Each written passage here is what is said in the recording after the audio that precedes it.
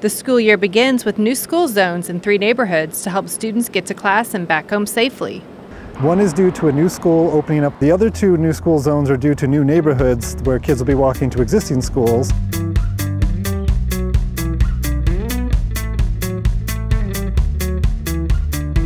The new school zones are on Hillcrest Road near Rock Hill Parkway, Eldorado Parkway at North County Road, and Stonebrook Parkway at Legacy Drive. The speed limit is 20 miles an hour in all Frisco school zones. We adjust school zones for a couple reasons. One, we watch um, when new neighborhoods are being built, but most of the changes happen because we coordinate with the school districts and we know what new schools are they building or what attendance boundaries are they changing because you know, we're growing so fast. Students and parents need to be sure to look both ways before crossing the street and try to use a crosswalk when possible. One change that's happening this year is that Roach Middle School is changing its circulation pattern, but this year it's just going to be one entrance and one exit, so now you're going to loop all the way around the school.